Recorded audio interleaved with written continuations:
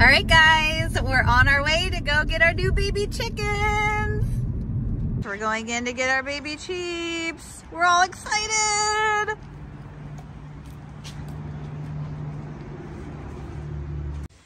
Oh, guys, look at these. Oh.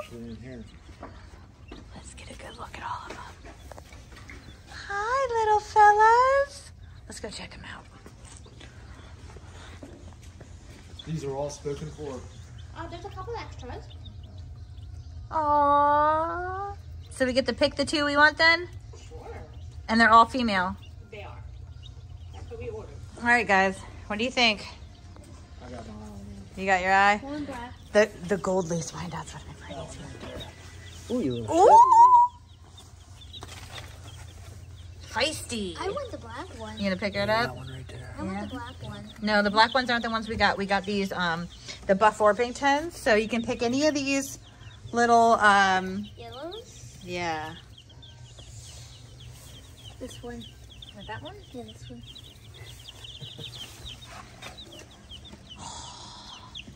Hi, little guys. You're coming home with us. Oh, little fatties. Yeah. How many days old are they right now? I would say like three days old. Two, Three? days old, yep. Well, they survived the first three days of life. So mm-hmm. we got our chickens this year at Agway, and they got the Buff Orpington, the gold-laced Wyandotte, the Delaware, and Partridge Partridge Rock. Is that right? Plymouth Partridge Rock. Oh, neat. Look at those little fellers. You hear them? They're ready. Oh. Oh. They're so precious. Don't let the other one fall.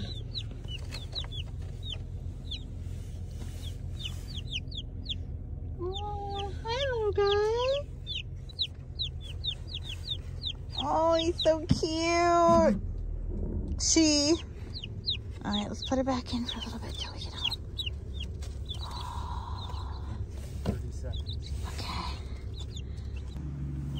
Oh, sweetheart. Hungry? All right, show them how we let them know where the water is. This is the water. Duck, dip their little beaks in it. Let them know that's where the water is. I might actually lower that a little. They know. Yep. Okay. That's good. And we have their little brooder heater. I'll link a video. Oh, she wanted to be in your hand. Don't let her jump from that height. Yeah. She doesn't want to leave your hand. Oh. I'll link a video for how we made our little homemade brooder heater. And I have a little thermometer in there. I'm trying to get a good gauge and set it at the right temperature. We'll have six chickens now. Yeah, we'll have six chickens now after we introduce these two to the flock when they get bigger. Gonna um, get their food ready, and I, I raise their food and their water onto blocks. So that way they don't get a bunch of uh, wood chips in their feed and their water. They know right where their food is. And we've watched them drink water.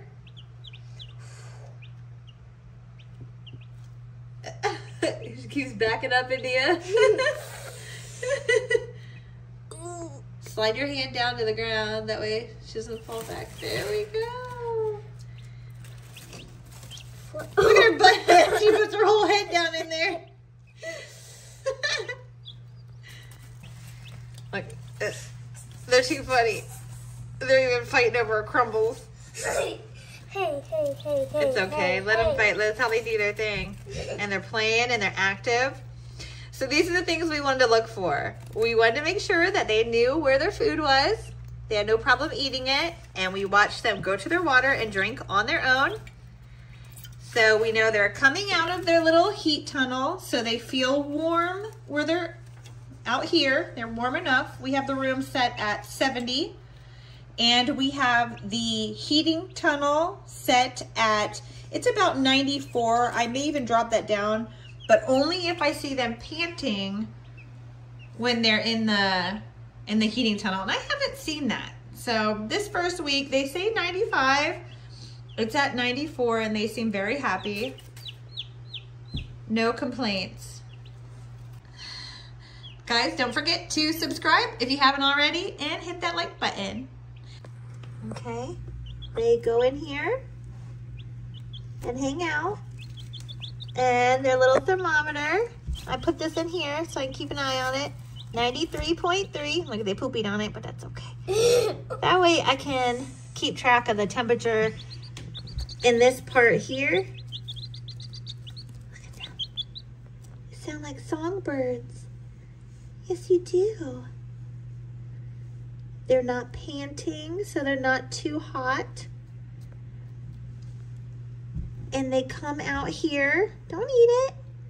They come out here and run around for a little bit and they eat and drink so they're not too cold outside of their cave.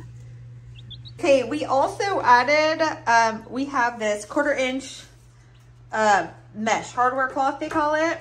And uh, we put some tape on the edge of it because it's kind of sharp when you cut it. And we use some zip ties to tie it back to our tub back here. And then we just have a little wire that we hook on the front just to hold it down. We don't necessarily need that right now, but it won't take them long before they're figuring they can jump on top of their waterer and their feeder and their little cave and get out. So we just put it on there right away because with the last cheeps, they were trying to jump out right away. Not trying, they succeeded. So we have their brooder in the grow room, which these lights are timed. Uh, I believe we have it at on for 18, no, on for 16, off for eight. So that'll give them a good day-night schedule. There's sweetheart. There's sweetheart. Aww. Aww, she wants some nappies.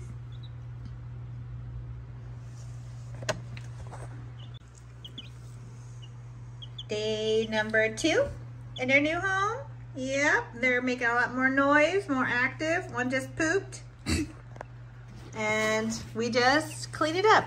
And then we come by with Lysol wipes and clean it really good. We have really old floors in here that haven't been refinished yet, so it's okay.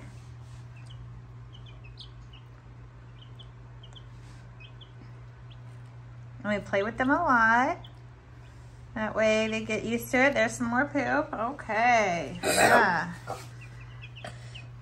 Constantly cleaning poop. That's one thing you do with baby cheeps, if you have them out and about, you clean a lot of poop. So we only have them out for little bits of time, and then when we They- feel like Yeah, the cheddar, like, watch. They will literally do, they will shake, and then that's how you think know that you're they're cold. So then you put them inside. Yep.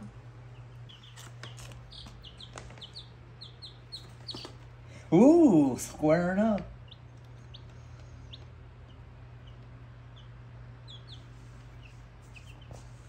I think this one's gonna be bigger.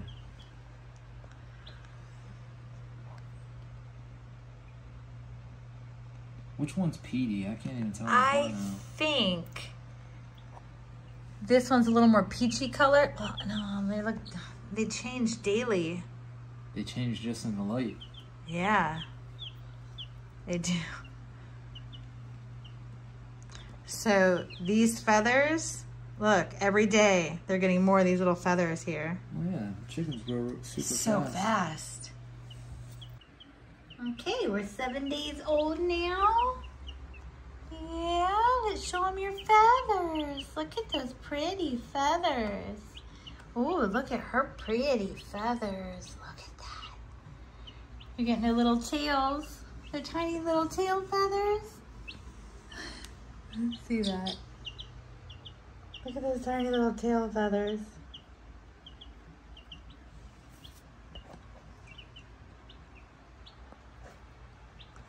So this is our fourth day having them. They were estimated at three days old when we got them.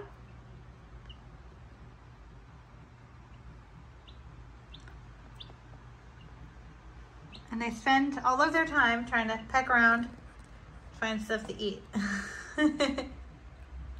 oh, and pooping. They poops. But you know what? They're pooping, and that's a good thing. Oop, They've been doing the the chasing each other and like heading each other off. I'd like to get some footage of that. That's super cute when they do it. We're trying to show who's boss. When we had the four last year, it was more, they did it more often. It was a little bit more of a, a banter with them. With only two, it's a little different. Yeah, they scratch their beaks on the ground. Like they're cleaning them off.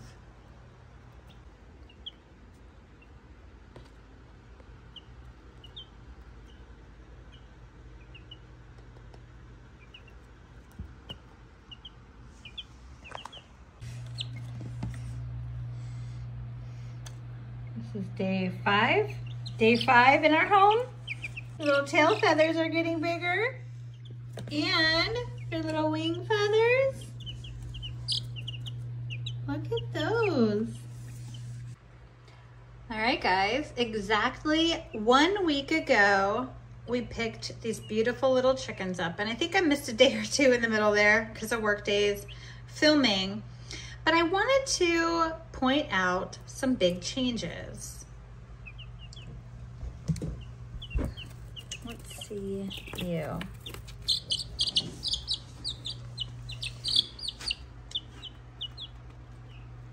Okay, so this little girl, her wings aren't as big as the other one yet, but you'll see, oh, she's feisty.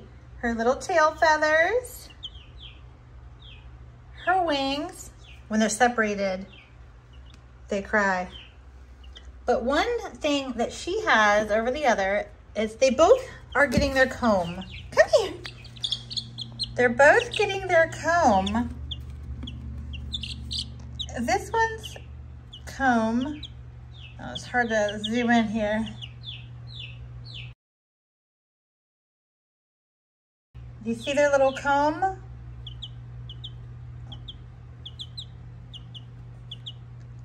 It's starting to develop.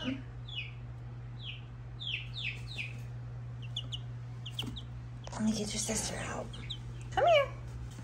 All right, so the other one, her wings are just a tiny bit bigger. Just a tiny bit. But only a week ago, they were literally little cotton balls with no defined feathers. And mind you, they were about three days old when we got them. So they're nine or 10 days old today. And they grow up fast. They are standing on top of their brooder and when you come in, they stretch their necks like they're trying to figure out how to get out. Look at those little tails. Aren't they the cutest little bumps? Yeah, they're feisty now. Trying to show who's tougher than the other. In the middle of the night, we heard them cheeping. My husband got up and he came in here and sat with them for an hour just playing with them and spending some time in the middle of the night. Now, I mean, it, they, they weren't crying because it was cold because it's very warm in here. Oh, thank you for pooping again. Uh, very nice and warm in here. Really, really good temperature. The room itself is about 69, 70 degrees. And their little brooder heater's at about 90 now. Uh, it, it fluctuates between 90 and 95. It's not perfect, but between 90 and 95. And they like to sit on top of their brooder. The last year, our chickens at this age liked being in the brooder more. They prefer being on top. So uh, we're gonna make a video for week number two of having them, and there will be a lot of upgrades and changes to their brooder box and to them. All right, guys. So that you don't miss that video or any of our others, hit that subscribe button and the little bell icon. And uh, don't forget to like. Okay, guys, have a good day. Thank you for watching Garden and Grease.